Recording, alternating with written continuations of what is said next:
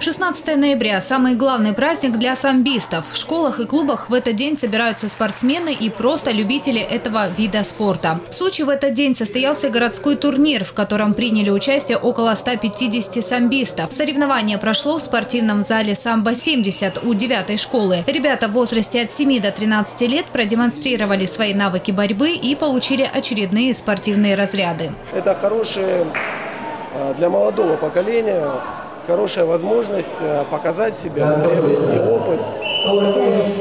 Мы будем часто проводить такие турниры для наших детей, для наших самбистов. Стоит отметить, что борьба самбо в Сочи развивается стремительно. В этом году на курорте впервые прошло первенство России по самбо среди юниоров и юниорок, а в следующем году Сочи примет чемпионат мира. Кроме того, в городе активно реализуется проект «Самбо в школу». В общеобразовательных школах ведется программа по уроке самбо.